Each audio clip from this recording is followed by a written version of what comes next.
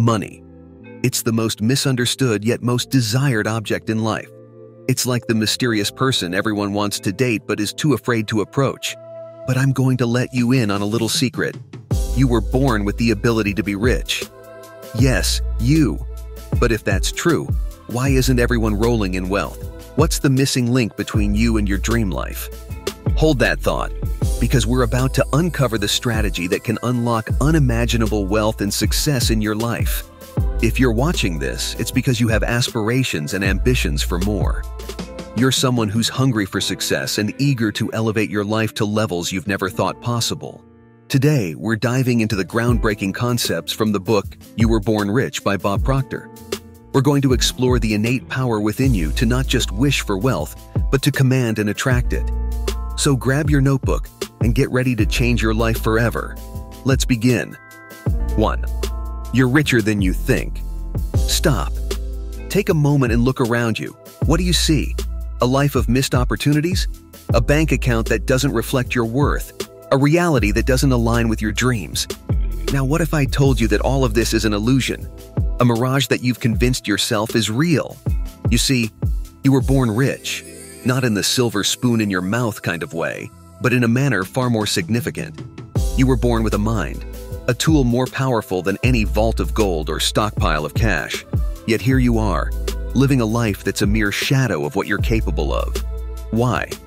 Because you've bought into the illusion of poverty, the false narrative that you're not enough, that you don't have enough. Let's get one thing straight.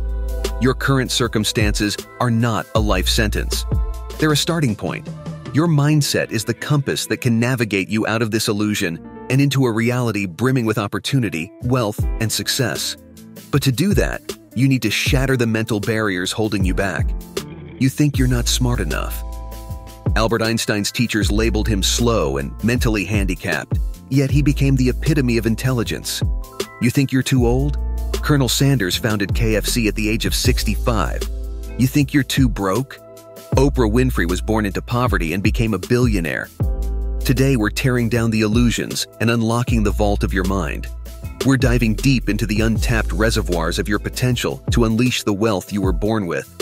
So, if you're ready to break free from the chains of your self imposed limitations, stick around. This is not just another video, this is your wake up call. 2. The Prosperity Consciousness. Let me ask you a question. What percentage of people do you think achieve true wealth? 30%? 10%? 5%? The truth may shock you. Only 1% of the world's population has achieved millionaire status. This means 99% of people never get rich. Let that sink in. That's not just a number, it's a tragedy. It's a sea of untapped potential, dreams deferred, and lives lived in quiet desperation. But why? Why do so many people miss the mark? The answer isn't just about money, it's about mindset. It's about what's been passed down through generations, not just wealth, but a prosperity consciousness.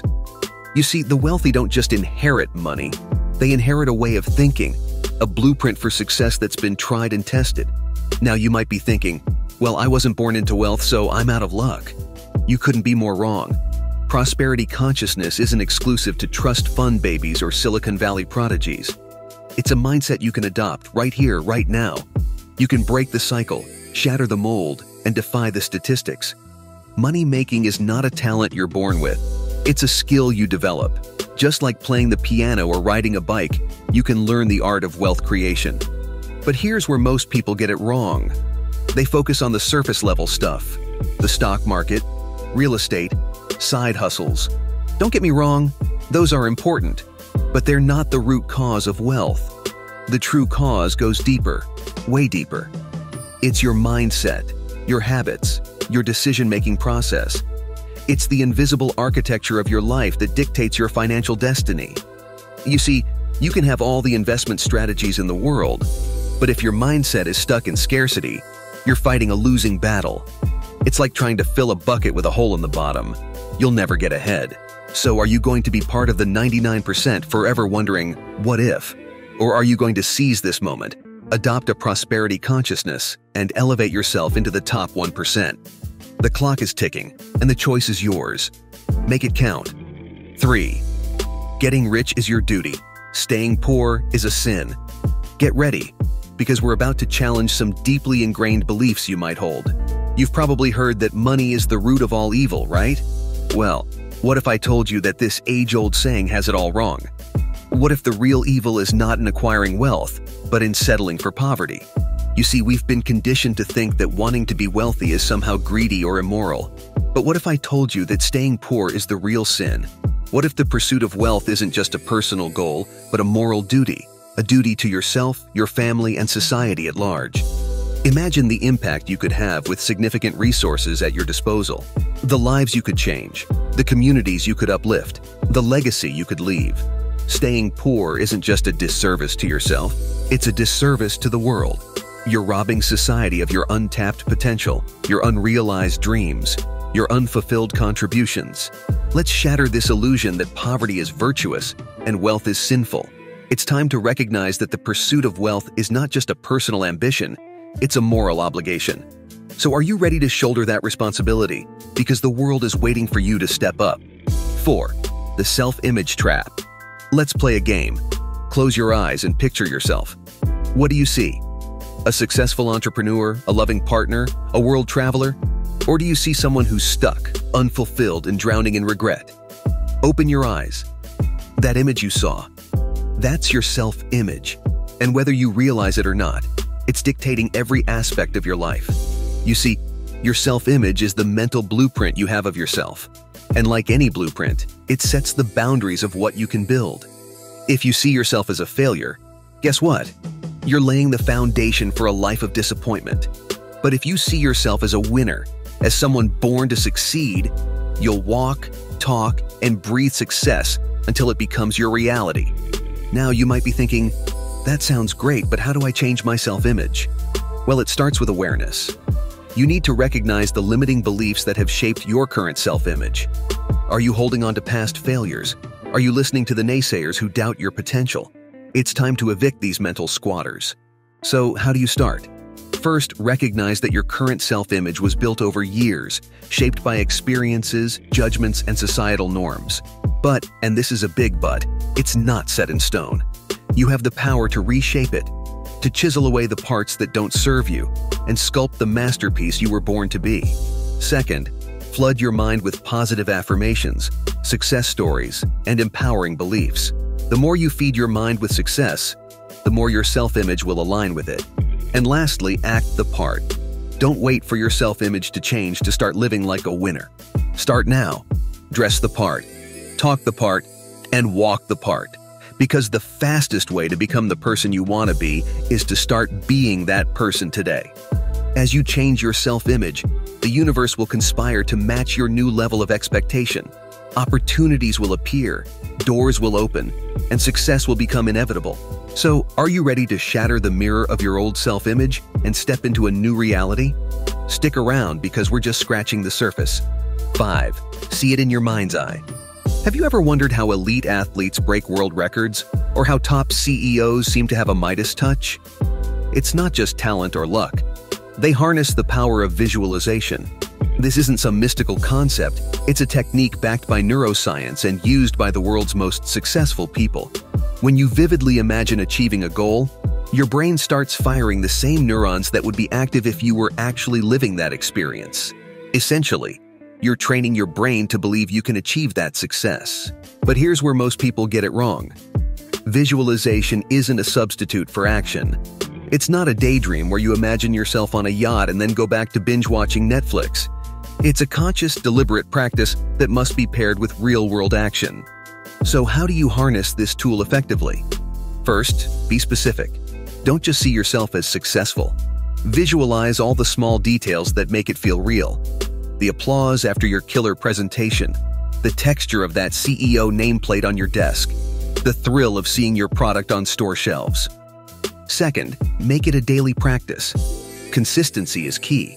The more you visualize, the more you reinforce your goals, making them a part of your subconscious blueprint for success. So, use the technique of mental rehearsal every day and watch how it catapults your life to new heights. 6. The money frequency. All right, let's get metaphysical for a moment. Imagine your mind as a radio, constantly sending and receiving signals. Now, what if I told you that there's a specific frequency for wealth? A channel that, once tuned into, can literally attract money into your life. Sounds like science fiction? Well, it's not. It's science fact. You see, your thoughts and emotions are not just abstract concepts, they're energy. And like attracts like. If you're constantly tuned into the frequency of scarcity, guess what you'll attract? You got it, more scarcity. But if you tune into the frequency of abundance, you become a magnet for wealth. This isn't some woo-woo philosophy, it's a psychological truth. Your brain is wired to seek out experiences that align with your thoughts and emotions. So if you're constantly thinking about wealth, success, and abundance, your actions will naturally steer you towards those outcomes. So the question is, what frequency are you tuning into on a daily basis? The one that keeps you stuck in a never-ending loop of financial struggle? Or the one that opens the floodgates to wealth and prosperity? The choice is yours. 7. Expect the best. Okay, what if I told you that your life as it stands right now is a direct result of your expectations? Not your circumstances, not your luck, but your expectations. Think about it. Ever wonder why some people seem to have all the luck, always achieving the things they want? It's not magic, it's expectation. They expect to win, so they do. You see, your expectations aren't just thoughts, they're commands. Commands to your subconscious, your behavior, and believe it or not, even to the world around you. When you expect greatness, you send a signal to the universe, and the universe listens. But here's the brutal truth. Low expectations are the silent killers of dreams. They're the reason you settle for less, the reason you don't take risks, the reason you're stuck in a loop of mediocrity. And the worst part, you set them for yourself. So what's it going to be? Are you going to be your own worst enemy, setting the bar so low that you trip over it? Or are you going to be the architect of your destiny, setting sky-high expectations and then smashing through them? It's time to decide. Because if you don't, you're not just betraying your potential, you're betraying the very essence of who you are. You were born rich, in talent, in potential, and in opportunities. Isn't it time you start living like it? So there you have it. The roadmap to riches isn't paved with gold, it's etched in the synapses of your brain. You've been given the keys to the kingdom, but here's the kicker. The door isn't locked. It never was. You've been standing on the outside, knocking, waiting for someone to let you in. But the truth? You've had the power to swing that door wide open all along. You see, wealth isn't a club you join. It's a frequency you tune into. It's not a secret society for the chosen few, but a state of mind accessible to anyone brave enough to dare, to dream, to demand more. So what's it going to be? Are you going to be a spectator in the game of life, watching as the 1% play to win? Or are you going to step onto that field, look destiny in the eye, and say, deal me in? Remember, the clock isn't just ticking on your financial goals, it's ticking on your life. Every second you spend doubting your worth, questioning your ability, or fearing failure is a second stolen from your future. A future that could be filled with abundance, impact, and unparalleled success. So, go ahead. Tune into that money frequency, shatter those self-imposed limitations, and set your expectations sky high. Because the only person who's been holding you back is the one staring back at you in the mirror. It's time to meet the richer, wiser, unstoppable version of you. Good luck.